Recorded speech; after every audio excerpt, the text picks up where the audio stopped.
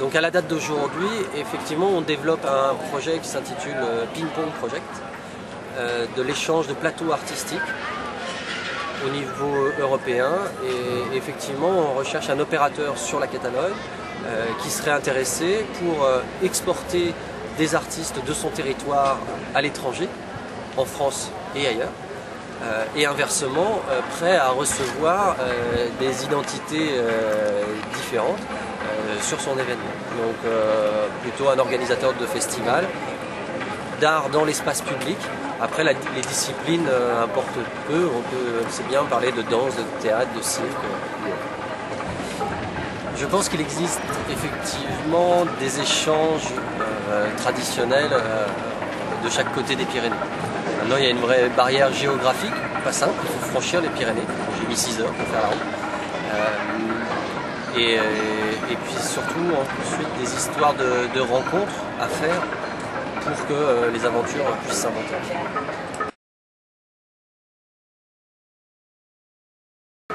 Je pense que sinon c'est aléatoire, qu'on a tendance à rester un peu euh, sur nos territoires, sur nos précarés. On est sur des, territoires déjà larges, en Midi-Pyrénées où, la cellule est installée. Euh, le territoire est aussi grand que la Belgique développer des, aventures sur ce territoire-là, c'est un boulot énorme.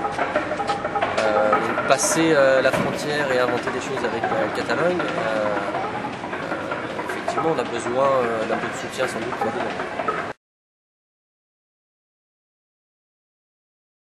la, cellule travaille sur un territoire qui est national, la France, et l'Europe et plus. C'est-à-dire qu'effectivement, on a développé des liens avec, euh, l'Australie, avec les Pays-Bas, avec la Suisse, avec l'Angleterre. Euh, par contre, effectivement, de l'autre côté des Midi-Pyrénées, euh, pas tant que ça. donc c'est pour ça que ça nous intéresse de nous déplacer et, de les imaginer. Avec la Catalogne même, on a rencontré Fusic déjà. Je pense que c'est à peu près tout en ce qui nous concerne. Ensuite, plus largement sur l'Espagne, il y a Madrid, euh, Valladolid, avec qui on a des, liens. Et puis euh, un peu aussi au Portugal.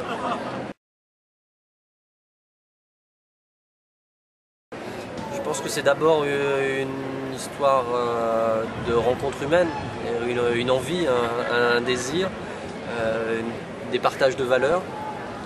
Et qu'après, bien sûr, il y a les moyens pour rentrer en jeu. Et ça, ça va faire partie des, choses qui vont être facilitées.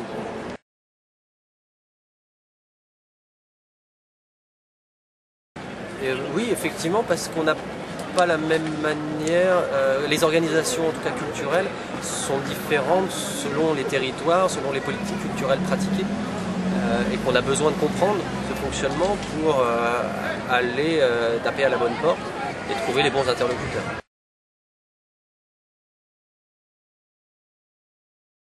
J'ai l'impression qu'ils peuvent jouer le rôle d'accélérateur dans la rencontre et euh, effectivement soit par l'intermédiaire des bourses à la mobilité, soit dans le suivi de, certains projets artistiques, euh, nous permettre euh, de, faciliter cette proximité entre nos territoires.